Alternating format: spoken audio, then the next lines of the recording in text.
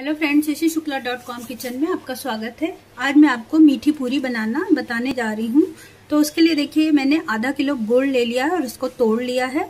ये 700 ग्राम लगभग आटा ले लिया है और ये दो टीस्पून मैंने सौंफ ले ली है, मोटी और पतली मिक्स करके। आपके पास अगर मोटी है तो मोटी ले लीजिए, पतली है तो पतली ले लीजिए।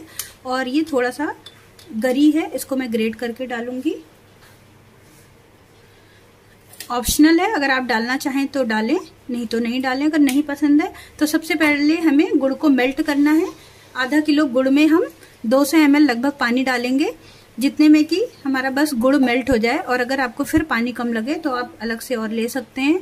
इसमें हम कम ही पानी रखेंगे, नहीं तो फिर ये बच जाएगा आटा गूंथने के बाद।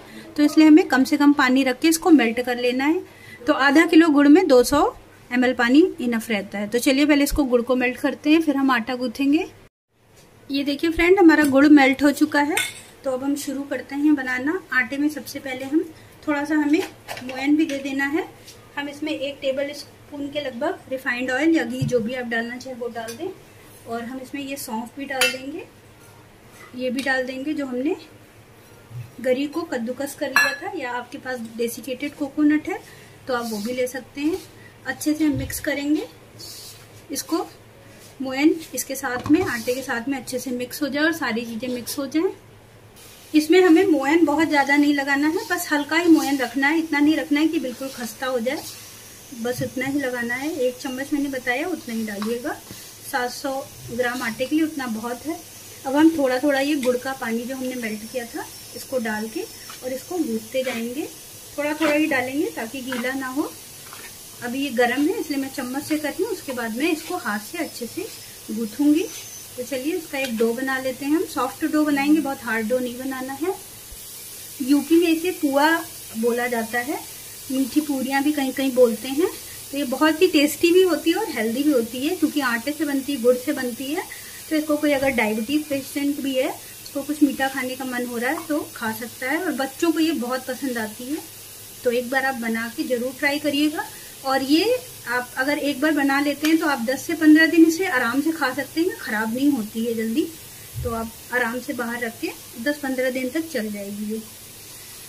चलिए हम आटा गूंथ लेते हैं। ये देखिए फ्रेंड, पूरा जो हमने गुड़ का पानी तैयार किया था, पूरा लग गया है इसमें और इसी में मुझे लगता है ये गुथ जाएगा। और अगर आपको लगता है कि कम हो रहा है तो आप नॉर्मल पानी ले सकते हैं। फिर उसके बाद आप नॉर्मल पानी यूज़ कर लीजिए। तो चलिए इसको गूथ लेते हैं हम अच्छे से।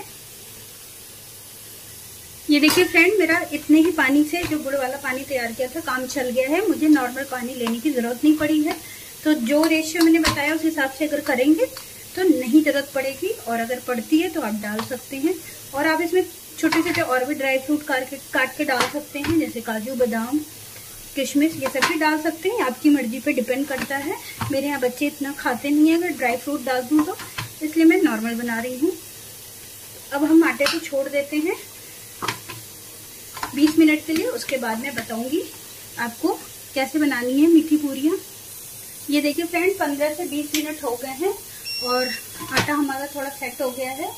अब हम इसके पुए बनाएँगे। तो पुए बनाने से पहले हम इसके गोले काट लेते हैं। गोले हमें इसको नींबू के बॉल या टेनिस बॉल जितना हमें इसको बनाना है। बड़े बड़े ये पूड़ियाँ थोड़ी सी मोटी होती हैं। ये देखिए, इतने बड़े बड़े हम इसके गोले बना लेंगे पहले, इसकी लोइयाँ बना लेंगे, फिर हम पूड़ी की तरह इसको बेलेंगे। तो चलिए, पहले लोइयाँ काट लेते हैं। ये देखिए फ्रेंड हमने इसके गोले तैयार कर लिए हैं। अब हम इसकी थोड़ी मोटी मोटी पूरियाँ ही बेलेंगे। मैं आपको दिखा देती हूँ कितनी मोटी बेलनी है। ये देखिए, इतनी मोटी बेलनी है। लगभग ये तीन एम की होगी मोटाई इसकी तो इतना हम इसको बेल लेंगे।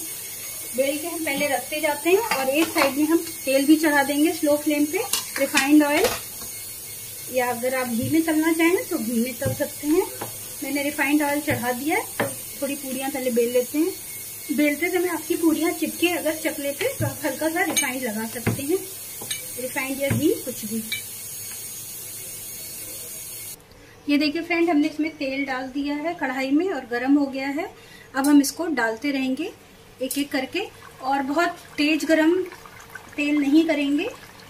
गरम होने के बाद हम गैस की फ्लेम जो है धीमी कर देंगे ताकि पूरियाँ अंदर तक अच्छे से पक जाए, नहीं तो बीच से कच्ची रहेंगी। इसलिए हमें फ्लेम को स्लो ही रखना है और आराम आराम से इसको तलना है स्लो फ्लेम पे ही, ताकि अंदर से भी अच्छे से पक जाए। आप जितनी बड़ी कढ़ाई उस हिसाब से डाल दीजिए। ये देखिए, ऐसे हम इसको पलट लेंगे और अब पलटने के बाद हम दूसरी डाल देंगे। मैंने छोटी कढ़ाई रखी है तो इसलिए मैं दो दो से ज़्यादा नहीं डालूँगी। तो ऐसे ही हम सारी तल लेंगे। ये वाली पूरियाँ फ्रेंड ज़्यादा फूलती नहीं है, क्योंकि हमने इसमें सौंफ और गरी डाली है। तो उसकी वजह से बीच बीच में वो क्रैक आ जाते हैं तो पूरी फूल नहीं पाती है। इससे कोई प्रॉब्लम नहीं है, अच्छी बनती हैं। ये पूरियाँ ऐसी ही मीठी पूरियाँ। ये देखिए, हम ऐसे इसको अच्छा सा थोड़ा सा पूरी से ज़्यादा डार्क कलर करेंगे और इसको निकाल लेंगे। ऐसे ही हम सारी मीठी पूरियों को तलते जाएँगे। फ्रेंड ये देखिए, ऐसी मैं सारी मीठी पूरियाँ तल लेती हूँ, फिर आपको प्लेटिंग करके दिखाती हूँ। ये देखिए फ्रेंड मैंने आम, कटहल और लहसन के अचार के साथ इसको सर्व किया है। और आपको अगर चटनी, सॉस किसी के साथ भी खाना है या ऐसे रूखा भी ये खाया जा सकता है, बहुत टेस्टी लगता है। और फ्रेंड, एक बात मैं और आपको बता दूँ, अगर आप मीठा थोड़ा ज़्यादा पसंद करते हैं तो गुड़ की क्वांटिटी बढ़ा सकते हैं बट पानी की क्वांटिटी कम ही रखिएगा, ताकि आपका ना गुड़ बचे, ना पानी बचे, और आटे में अच्छे से मिक्स हो जाए। तो आपको मेरी रेसिपी पसंद आई है तो लाइक करिए शेयर करिए सब्सक्राइब करिए, और कमेंट करके मुझे ज़रूर बताइए। मिलते हैं फ्रेंड नेक्स्ट वीडियो में, तब तक के लिए बाय